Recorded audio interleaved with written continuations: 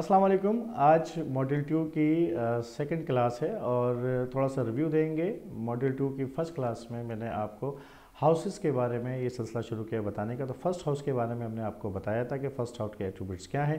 थोड़ा सा रिव्यू इसको आज आ, इसको देख के फिर हम आपको बताएँगे कि सेकेंड हाउस एस्ट्रोलॉजी में क्या एट्रीब्यूट्स रखता है उसके क्या फीचर्स हैं और अपने ज़िंदगी के अंदर कौन से ऐसे एस्पेक्ट्स हैं जिनको आप सेकेंड हाउस से देखेंगे या सेकेंड हाउस के अंदर कौन से फीचर्स हैं। फ़र्स्ट हाउस का रिव्यू लेंगे।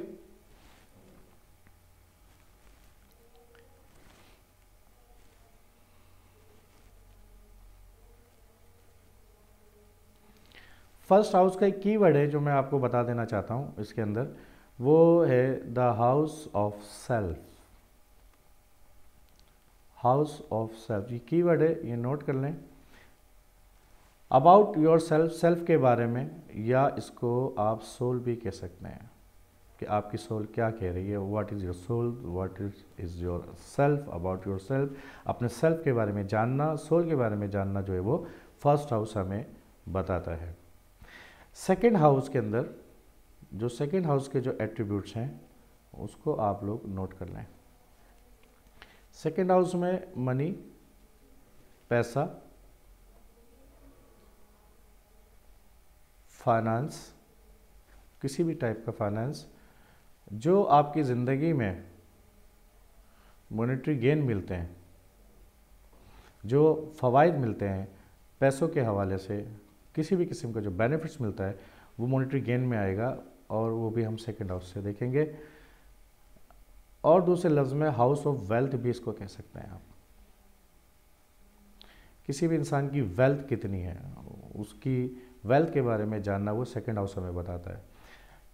स्मॉल फैमिली स्मॉल फैमिली उसके साथ मैं एक बात यहाँ पे ऐड कर देना चाहता हूँ। बहुत सी जगहों पे सेकेंड हाउस को सिर्फ़ मनी मॉनेटरी बेनिफिट्स या फाइनेंस से ही इसको देखा गया है, लेकिन ये आपके सोर्स और रिसोर्स को भी ज़ाहिर करता है। जो आपकी ज़िंदगी में सोर्सेज हैं, या आपके रिसोर्स हैं सेकंड हाउस से देखेंगे, या इसको आप वैल्यूज़ भी कह सकते हैं कि आपकी वैल्यूज़ क्या है। वैल्यूज़ का मतलब ये होता है कि किसी भी इंसान की वैल्यू अंदाज़ा लगाते हैं ना कि इसकी फैमिली वैल्यूज़ क्या हैं। तो फैमिली वैल्यूज़ जो है, वो भी आपको सेकेंड हाउस से देखने को मनी पैसा आपके फैमिली वैल्यूज़ को बनाता है, या पैसे से आप किसी भी इंसान की वैल्यू को भी चेक करते हैं। कहाँ से पैसा आएगा, उसकी एकोमोलेट वेल्थ कैश लिक्विडिटी भी आप इसके अंदर ले सकते हैं।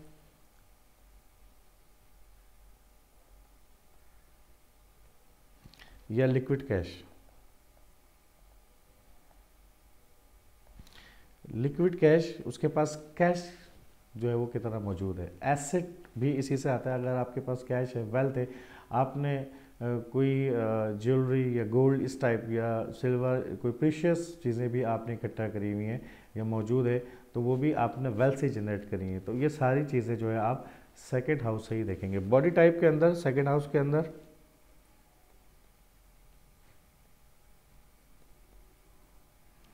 बॉडी टाइप के अंदर सेकेंड हाउस के अंदर आपका जो पार्ट आता है, वो माउथ यानी कि जो आप खाते हैं, यानी कि जब माउथ आएगा तो आप इसके साथ साथ फ़ूड भी सेकेंड हाउस से देखेंगे कि वो इंसान, वो नेटिव किस किस्म का फ़ूड इस्तेमाल करता है। सेकेंड हाउस हमारे जो है वो, उसको भी बताएगा कि वो वर्ड्स क्या हैं उसके बोल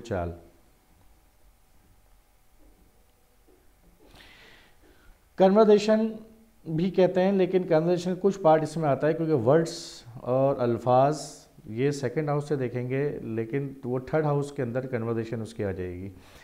फ़र्स्ट हाउस को मैंने आपको पहले बताया था फ़र्स्ट हाउस में ब्रेन फ़र्स्ट हाउस में ब्रेन है, और उसके अंदर हेड की पोजीशन है, और फ़र्स्ट हाउस पूरी पर्सनालिटी बताता है, यानी कि सर के बाल जो आपके, सर के बाल से लेकर पैर के अंगूठे तक जो पूरा वजूद है, उसका अपेयरेंस है, उसका बॉडी टाइप है, वो स्ट्रक्चर फ़र्स्ट हाउस देगा।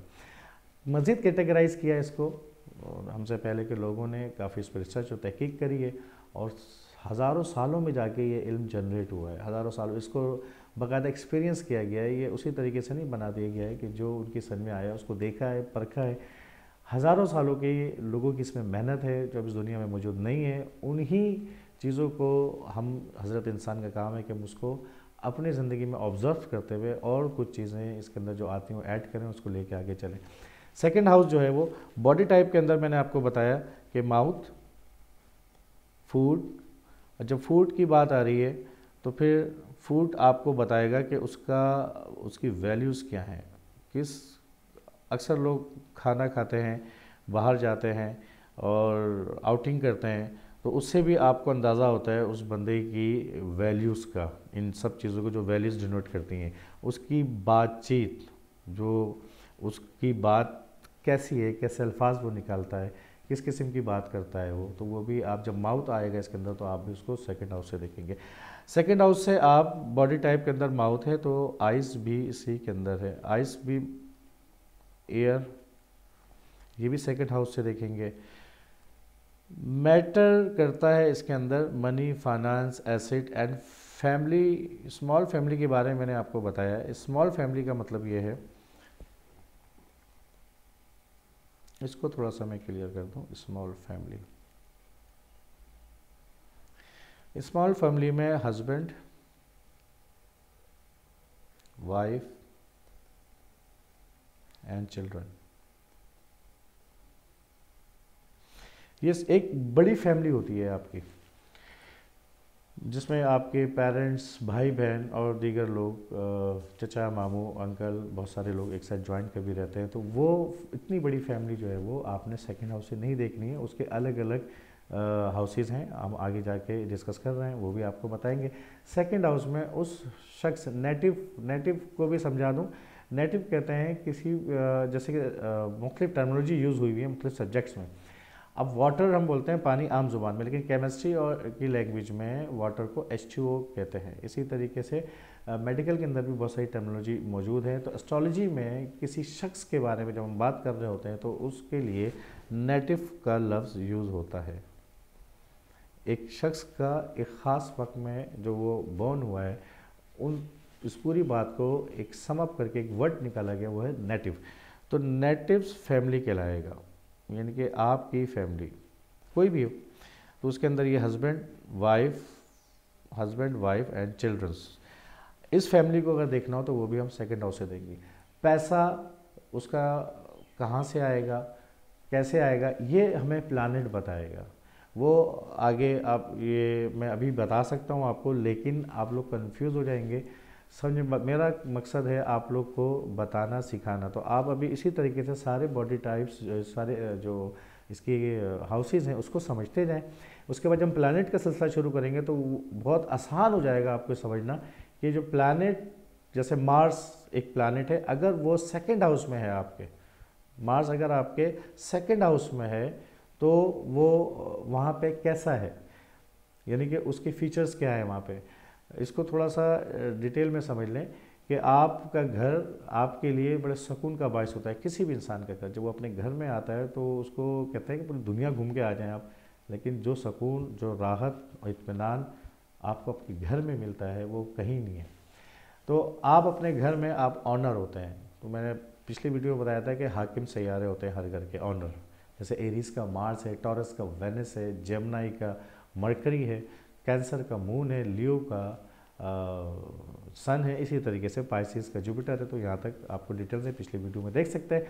तो हाकिम सैारा जो है वो हर घर के अंदर ऑनर आप अपने घर के ऑनर हैं तो आप कंफर्ट फील करते हैं।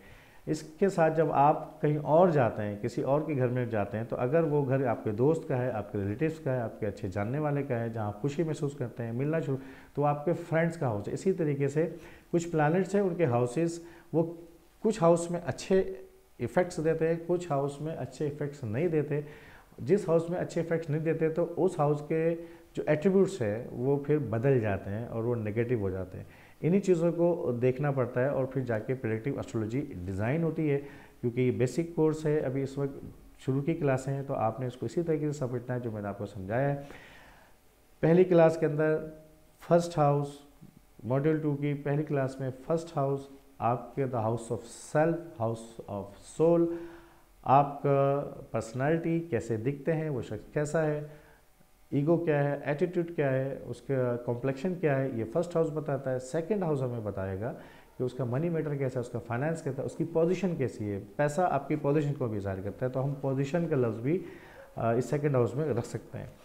स्मॉल फैमिली है, उसका माउथ का पार्ट जो बॉडी टाइप के अंदर माउथ है एयर है आइज़ हैं, इसको भी आप सेकेंड हाउस से ही देखेंगे। और जब माउथ है तो उसका फ़ूड कैसा है, वो कैसा फ़ूड खाता है, उसको क्या फ़ूड पसंद है तो वो भी आप सेकेंड हाउस से देखेंगे।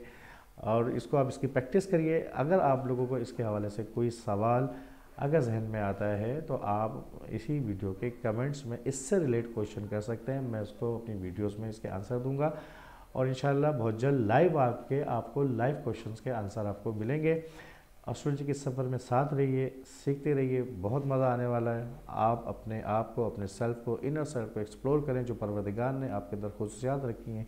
खासियत रखी हैं उसको पहचानिए और अपनी ज़िंदगी को बेहतर बनाइए। आगे क्लास में फिर मुलाकात करेंगे। जब तक इजाज़त असल वरहमल वर्का